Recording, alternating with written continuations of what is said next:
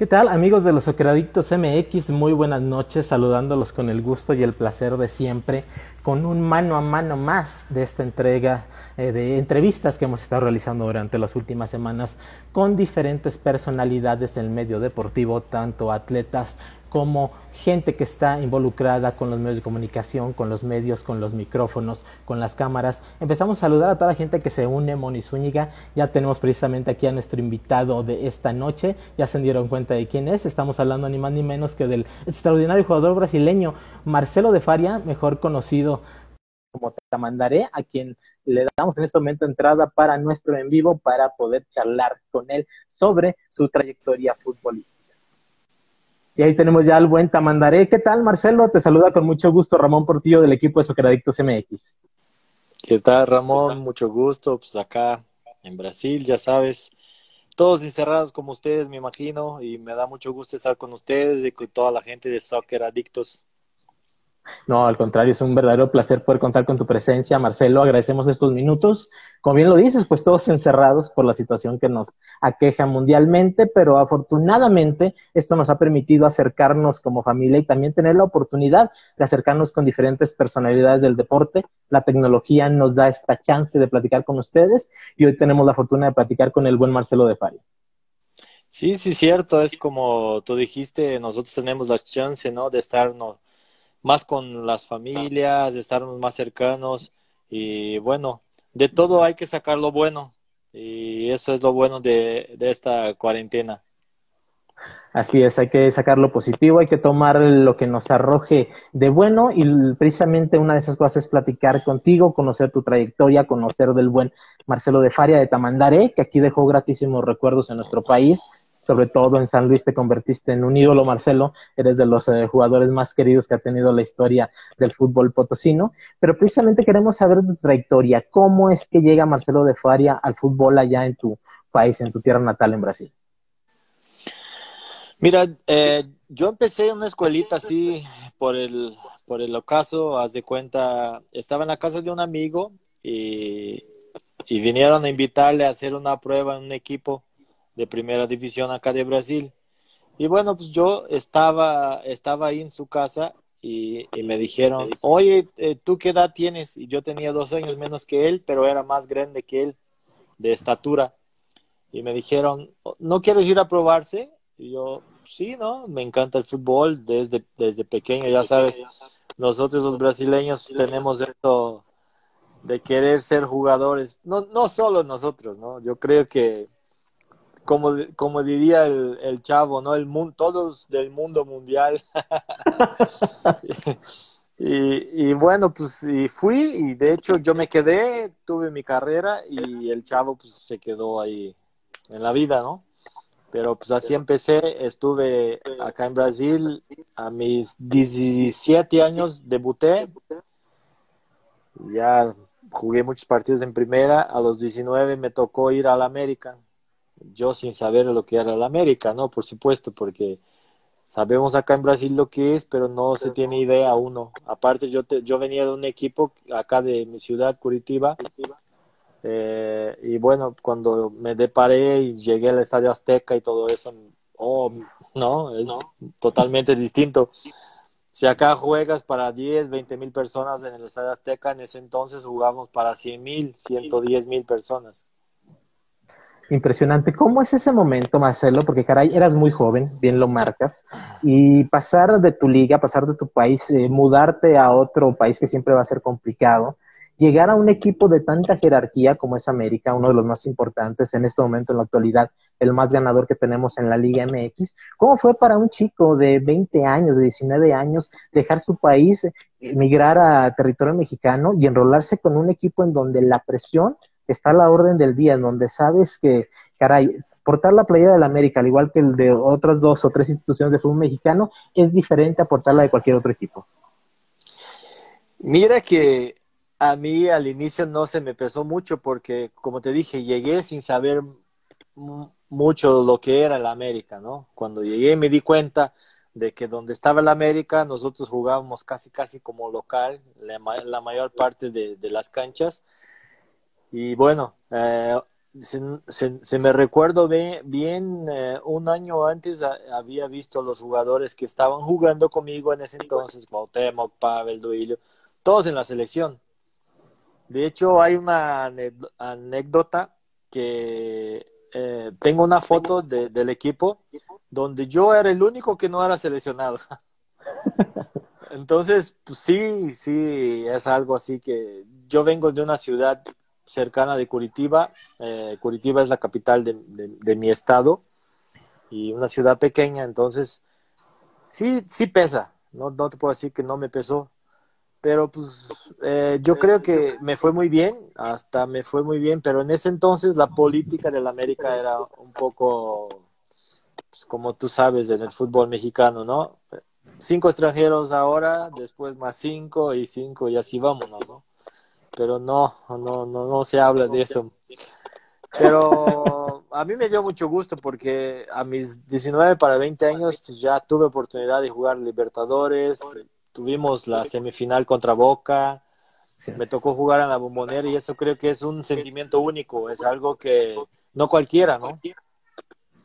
¿Cómo fue esa sensación ahora que tocas el tema de las semifinales contra Boca, Marcelo, que pues tenían realmente eh, el pase a la gran final en las manos? ¿Cómo fue aquel gol de Walter Samuel en los últimos minutos? ¿Cómo lo viviste? ¿Cómo fue esa experiencia de estar a nada a unos cuantos minutos y que lamentablemente se les fue la oportunidad de colarse hasta la instancia más importante?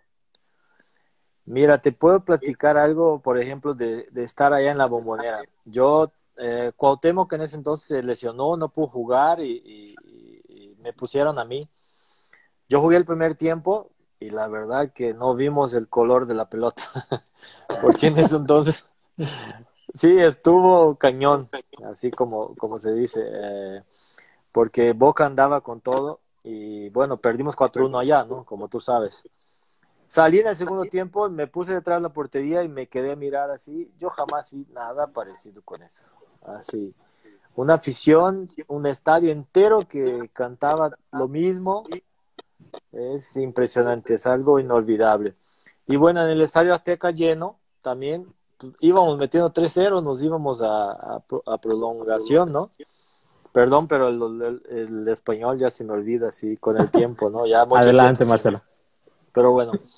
Y sí, Samuel a los 46, creo, si no, si no me engaño, ¿no? Eh, metió el gol. Pero bueno, son cosas que pasan, por eso el fútbol es lindo y después Boca fue campeón arriba de Palmeras, en penales, creo que dos, dos empates, ¿no?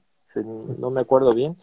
Y fue campeón del mundo. Entonces, pues, cuando tienes la suerte, tienes la suerte, es tu tiempo, es tu momento. Y, pero para mí es algo inolvidable que puedo platicar a mis amigos, a los hijos de mis amigos, eh, a mi niña hoy, ¿no? Tiene tres años, pero un día le voy a platicar.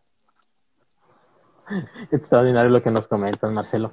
¿Cómo se da ese paso por América? Es un año y tu salida, esa transición a Irapuato, donde permaneces otro año.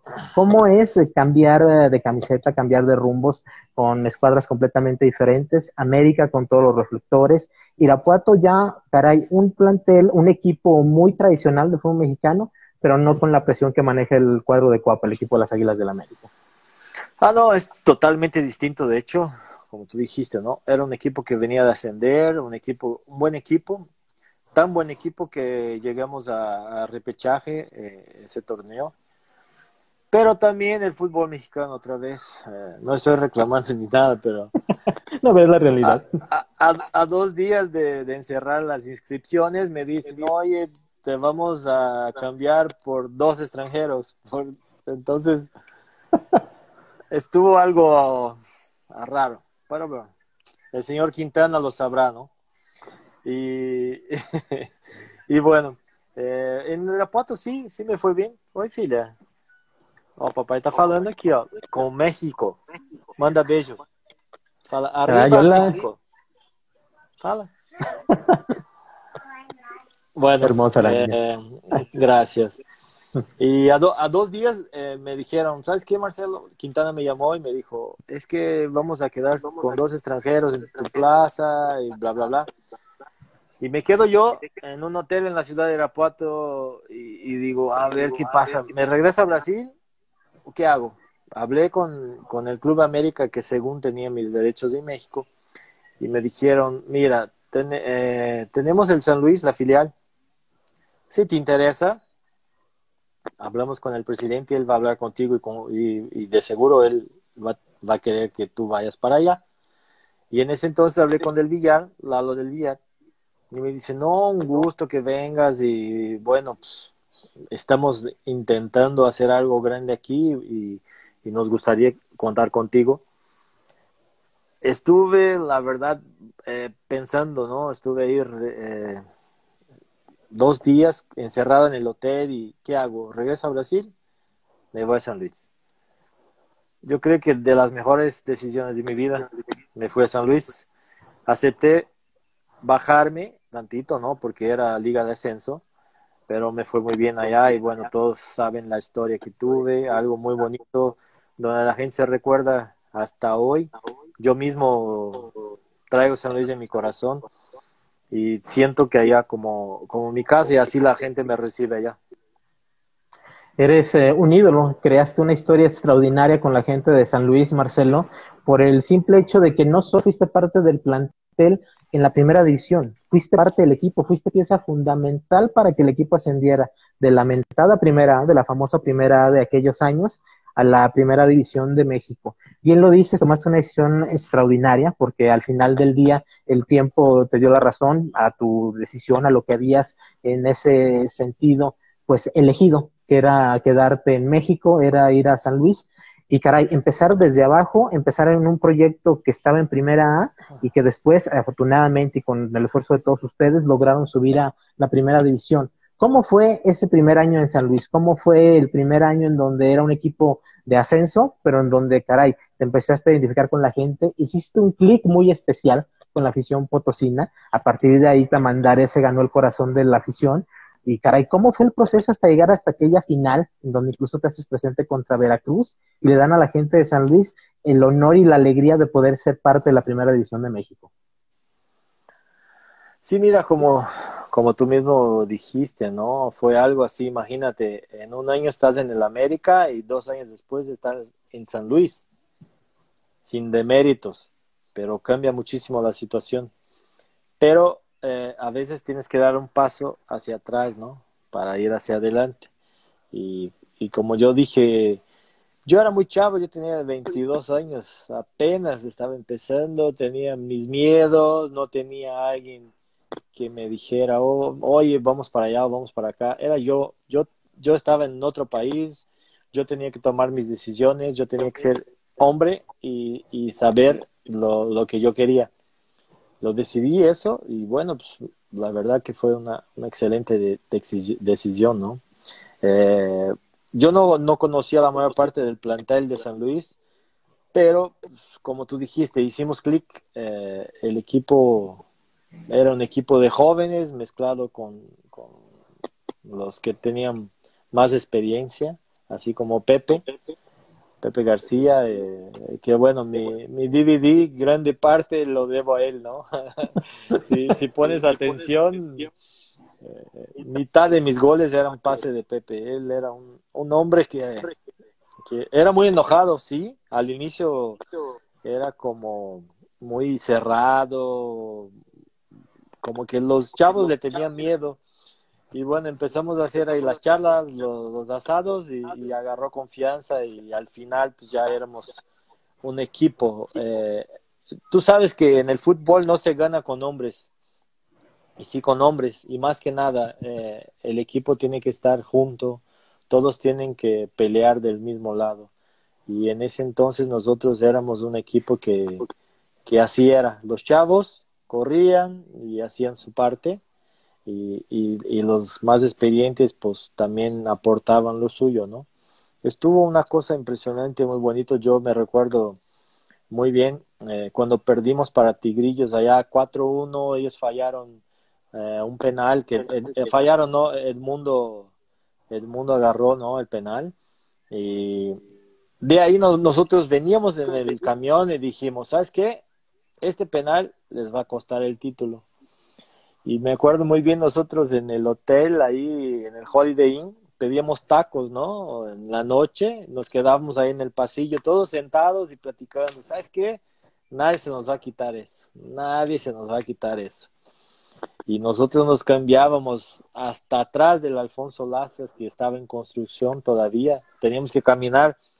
Para la final parecían como 10 kilómetros, ¿no? Porque eran como, no sé, 200, 200 metros casi casi más, más lejos que el, el vestidor, de, del Bordeaux, no sé si ya has oído. Que tiene como 800 metros del vestidor, no sé si hoy, pero es lejísimo. Y, y, bueno, a nosotros también se nos hacía lejísimos porque ya queríamos que empezara el partido, empezar el partido, empezar el partido. Y bueno, pasó lo que pasó. hicimos el 3-0 y, fuimos a prolongación y Moctezuma metió el 4 y después, bueno, cuando dimos vuelta a este partido, nosotros sabíamos que íbamos a ascender, que Veracruz no nos iba a aguantar. Y así pasó. Se convirtió en un equipo muy sólido, Marcelo, caray. ¿Cómo recuerdas aquella tarde en Alfonso Lastras contra Veracruz, tú haciendo un gol de cabeza espectacular? con un equipo sólido, con una afición metidísima, apoyándolo siempre. Y cuando ya se da el silbatazo final de Gilberto Alcalá, ¿qué es lo que pensaste? O sea, después de un año de muchísimo esfuerzo, de muchísimo trabajo, ¿qué es lo que sintió Tamandara en ese momento de decirle a la gente, a su gente de San Luis Potosí, que su equipo va a ser de primera división? Eh, eh, en, ese momento, ese momento, es como, te relajas, te relajas, la verdad. Porque sabes, todo lo que diste, todo, lo que sufriste, todo lo que, pasaste tú con el equipo, viajes, comidas, y, y, bueno, sabes el esfuerzo que, hiciste para llegar hasta allá. Por eso mismo te digo que nosotros teníamos seguridad de que íbamos a ascender, de que íbamos a ser campeones. Tanto que en el primer torneo fuimos subcampeones en el próximo fuimos campeones y ascendimos. Nosotros tuvimos siempre en mente que éramos, si quisiéramos, éramos los mejores. Si, si diéramos todo, éramos los mejores. Entonces creo que, por supuesto, con, trabajo, Dios nos bendició, así se dice. Dios los bendijo. Bendijo, bueno, eso no me, no me acordaba. No me acordaba. Y bueno, pasó lo que pasó, ¿no? Estuvo padrísimo, inolvidable. Y bueno, hasta, hoy, ECOA. ECOA. En tierras potosinas. Una historia extraordinaria. Marcelo, mucha gente que se está uniendo aquí a la charla con el buen Tamandaré. Carlos bajo Cobay, Marta Subirito, a la gente saludándote, Emma García, la alineación MX, saludos para ustedes amigos, Marco TP, Vanessa Sosol Sokolovsky, Atleti de San Luis News. Thais Nayara es mi amor, la que manda acá en la casa. Mucha gente que está aquí al pendiente de la entrevista que habíamos anunciado desde hace algunas horas contigo, Marcelo. Caray, la labor ya está hecha, ya habían hecho lo más importante, lo más complicado, poner al equipo en la escena de la primera división nacional. ¿Cómo fue ya la experiencia de regresar a primera división con un equipo del cual ya es ídolo? ya era muy diferente las circunstancias que viviste con América, que viviste en parte con el conjunto 4, ahora ya empieza cabeza en el conjunto de San Luis y en los años que estuviste en primera división con el conjunto potosino, Marcelo, todavía reafirmaste más esa condición de ídolo con grandes goles, ese 58 en el que la gente de San Luis Potosí no olvida, y goles de chilena espectaculares. ¿Qué nos puedes contar de esa etapa de Marcelo de Faria ya en primera división con el Real San Luis? Pues, sí, fíjate que también eh, hicimos un buen grupo con grandes jugadores y sí nos fue bien el primer año. El gran problema es que yo tenía un señor que se llamaba Cardoso en Toluca. sí. Y bueno, en ese, entonces, yo metí, 13, 13 goles, en primera división, y él como 28, creo. Me dio 29 nada más. sí, en 18 partidos, algo que, imposible, ¿no? Yo creo que jamás vamos a pasar. Yo me acuerdo que, como, contra Pumas yo metí tres goles, eh, Cardoso metió tres, al otro partido metí gol y él metió tres, y al otro partido metí, tres y él otra vez decía, ay, imposible. Estuvo muy cañón. cañón. Pero bueno, eh, la, experiencia que tuvimos ahí fue buena. De hecho, yo solo salí de San Luis porque yo tenía el sueño, como todos los jugadores, ¿no? de emigrar a Europa. Yo con, con mi pasaporte italiano y todo se me facilitó mucho. Cuando salí de San Luis, San Luis quería que, eh, que yo me quedara. No sé si fue buena decisión o no, pero mi sueño realicé, ¿no? Estuve en Europa, estuve jugando en diversos países y, bueno, puedo decir que mi carrera es me, me, me agradó, soy feliz con lo que hice. ¿Cómo fue esa transición, Marcelo? Caray, dejas a San Luis siendo un ídolo, siendo parte ya importante, parte primordial de la historia de este conjunto eh, potosino, pero como bien lo dices, eh, todo el futbolista tiene un sueño y por lo regular ese sueño termina en Europa o es una de las grandes metas jugar en Europa. ¿Cómo fue esa transición de dejar el fútbol mexicano para enrolarte al fútbol europeo, en este caso ir a la liga francesa? Es como empezar, del, cero, ¿no? Es como cuando llegué a, México, sin hablar español. Eh, te vas de un país y llegas ahí. Ah, llegué en Francia también un equipo chico, en una isla, isla donde después estuvo, Memo, y también sin hablar nada, sin saber nada, pero bueno, tuve suerte de que como en México estuve cinco años y, no y nunca jugué con un brasileño, en Francia me tocaron otros cuatro. Y bueno, uno de ellos era Marcelinho Carioca, que era un ídolo en Brasil, un ídolo de Corinthians y bueno, de la gente. Andrea Luis también, que jugó en São Paulo, fue campeón mundial, eh, en el PSG, había un otro que se llamaba Ferrugin que jugó en Palmeiras, o sea, eran jugadores ya con nombre. Y allá también, el primer año nos fue, nos fue bien. Tuve otras historias con un entrenador, eh, Leo Benhacker, holandés, que me mandó a como a cuarta división un partido y después me regresó, puso contra Marseille, metí gol en Bartés y así es el fútbol. El fútbol es algo hermoso por eso. Estás un día abajo, el otro día. En seis meses te cambia la vida. Efectivamente, de repente estás en México, a los cuantos días ya estás en Ajaccio, allá en Francia, y de repente tuviste... Casi tres años allá. De allá me vine a, Vasco, da Gama. Wow. Y, y en ese Vasco da Gama estaba un tal Romario. Buscando su gol, mil. Bueno, también tuve una lesión, sí, tuve, una lesión ahí, pero, bueno, eh, son, son historias que se quedan por toda la vida, ¿no? Eh, para platicar a tus, a tus amigos, a tus niños, y me da mucho gusto.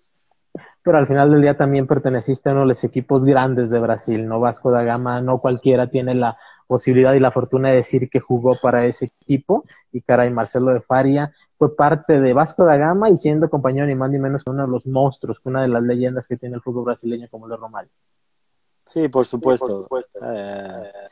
Eh, después de muchos años lo encontré, y le agradecí, porque, cuando fui de, acá de Brasil a, a, México, Romario iba a América también.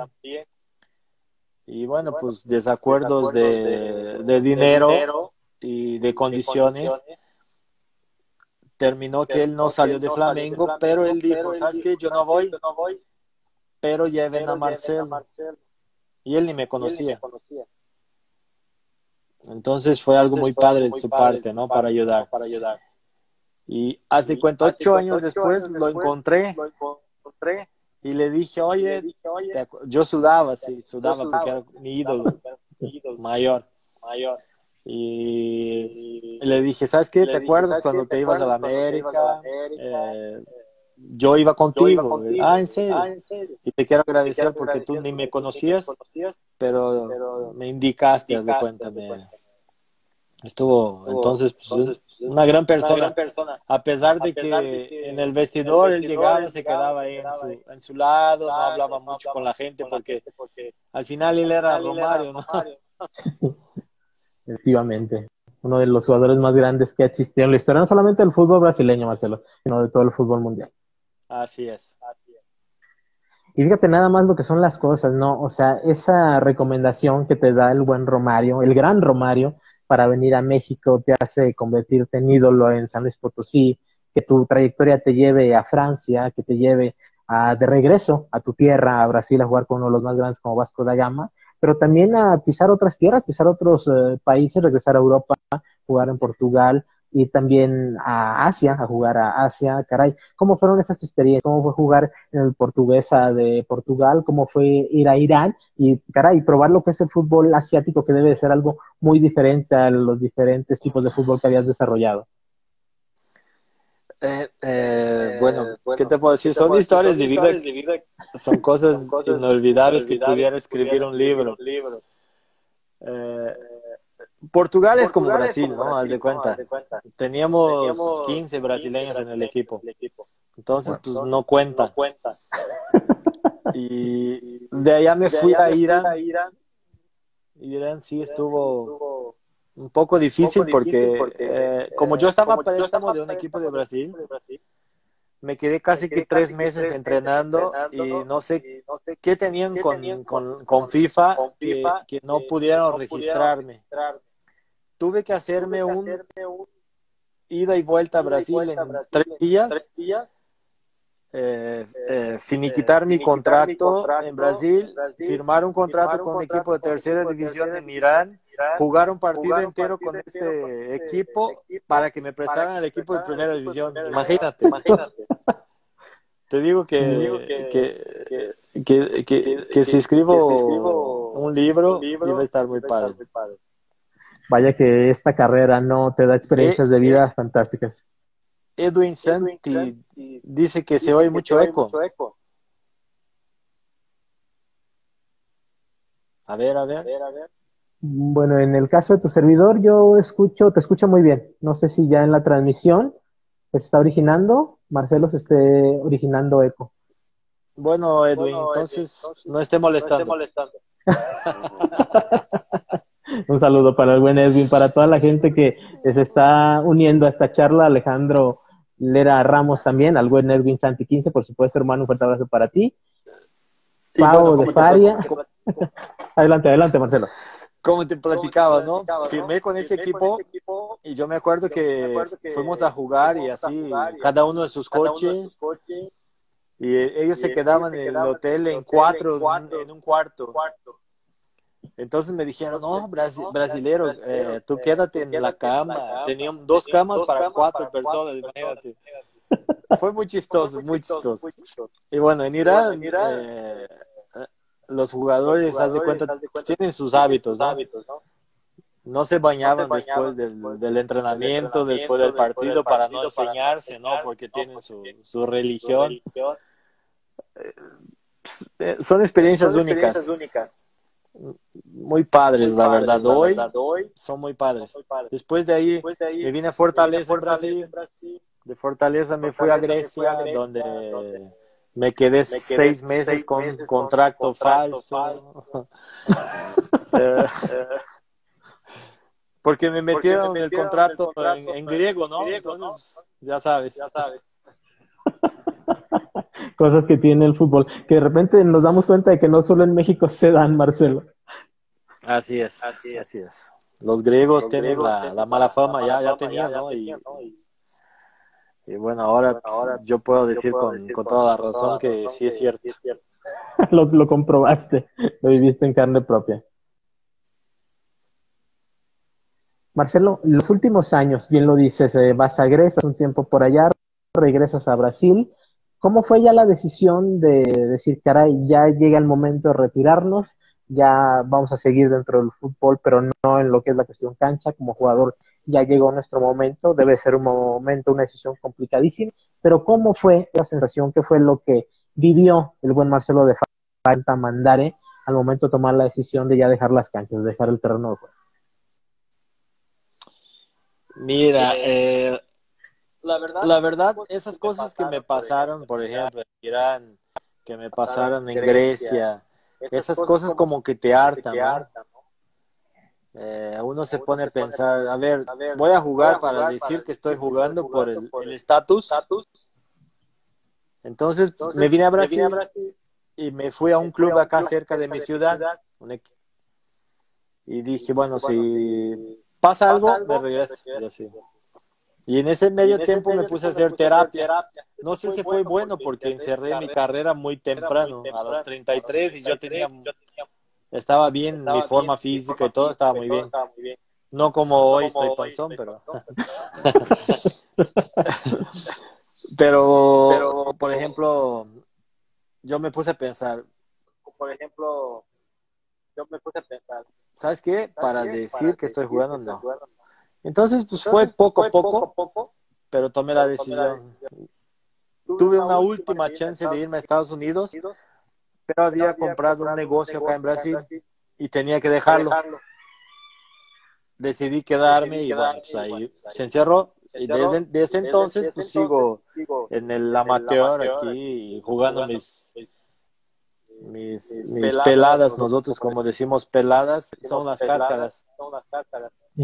Y, bueno, uno que jugó fútbol y juega fútbol y mientras el, el, cuerpo le permita, siempre va a jugar, ¿no?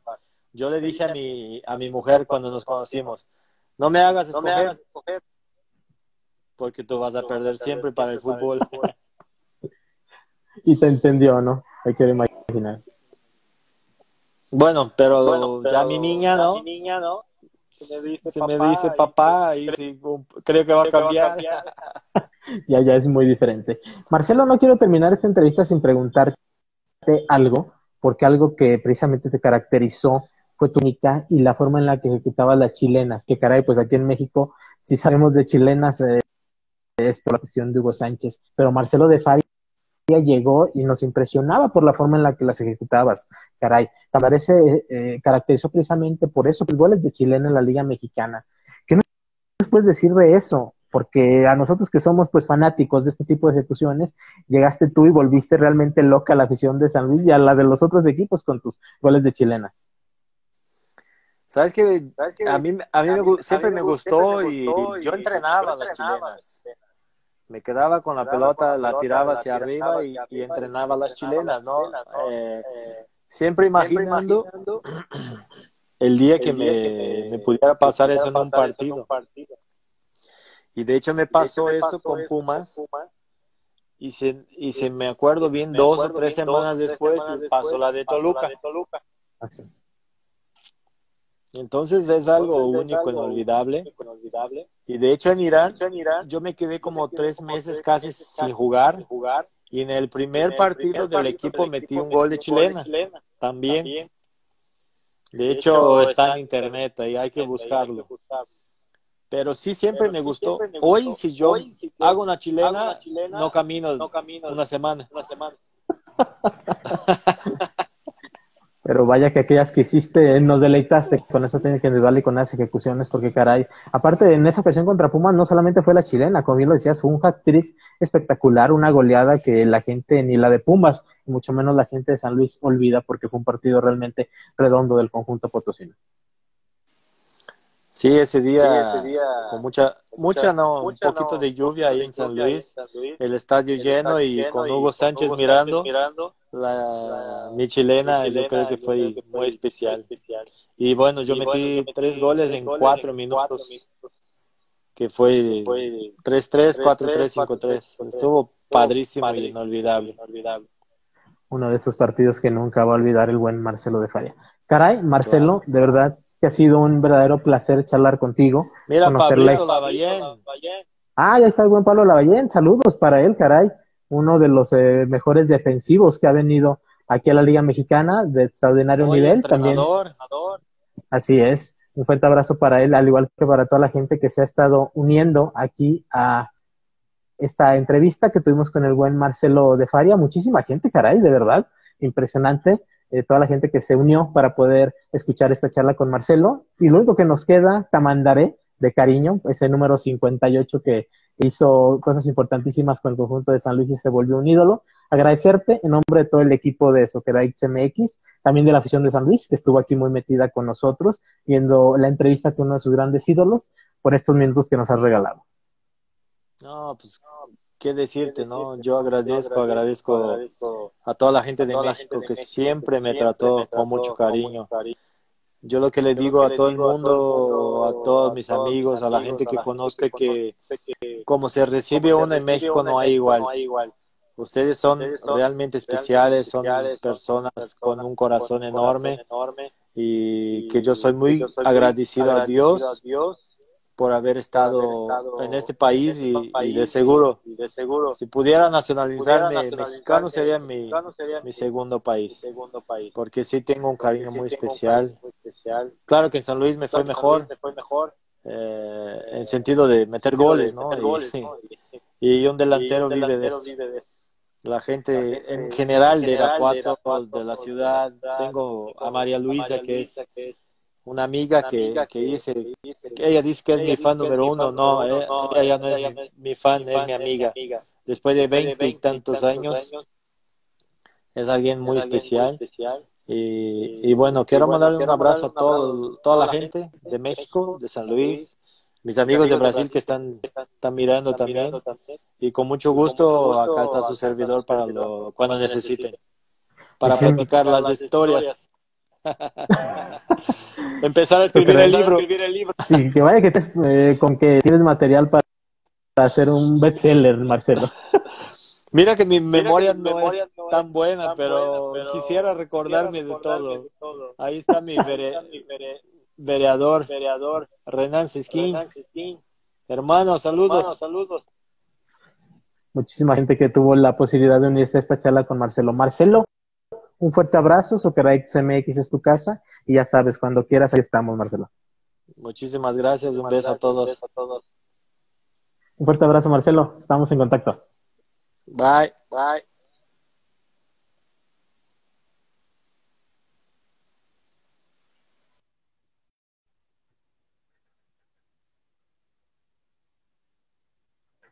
Esta fue la entrevista, amigos de los Soccer MX, con Marcelo de Faria, el famoso Tamandare, que conquistó el corazón de todo el público mexicano, muy en especial de la gente allá en San Luis Potosí, que lo recuerda con muchísimo cariño. Llegó al equipo para ser parte importante en el ascenso del mismo. Se convirtió en uno de los goleadores importantes de la liga, siendo parte del equipo de San Luis. Y caray, aparte hizo trayectoria por Europa, regresó a su país y también pudo jugar en uno de los grandes de allá de Brasil, estamos hablando del Vasco da Gama. Saludos para toda la gente que se unió de verdad, muchísimas gracias, fue para todos, SAE11 eh, guion bajo, M, M, Mitch Pique también, Renacenchin también por supuesto, Caray Claudio Vargas, la alineación MX, amigos, un fuerte saludo, Luis Mench, FAS 1190, Murcia 854, Castellán 1002, Fútbol 7 Brasil, Palornán, Palornán, un fuerte abrazo para ti también, por supuesto, un extraordinario jugador y ahora director técnico. A todos, de verdad, muchísimas gracias. Un abrazo para todos ustedes. Los invitamos a que estén muy al pendiente de todas nuestras redes eh, como Socrates MX. Búsquenos en Instagram, en Twitter y en Facebook. Si no tuvieron la oportunidad de ver las entrevistas que hemos realizado con anterioridad, al igual que esta, las podrán encontrar en nuestro canal de YouTube, Los Soccerikes MX. Ahí podrán encontrar absolutamente todas las entrevistas que hemos realizado en estos mano a mano. Su amigo Ramón Portillo les agradece su atención, les desea excelente noche y los invitan a que sigan al pendiente de Los Soccerikes MX.